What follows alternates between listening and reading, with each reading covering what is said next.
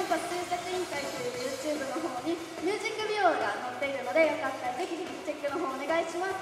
そして iTunes さんや LINE ミュージックさんなどでも配信されているのでよかったらぜひダウンロードしてみてください。お願いします。私はね初めての東京遠征なんでちょっともうめっちゃ緊張したんですけど。まあ2曲あります。2曲はい頑張ります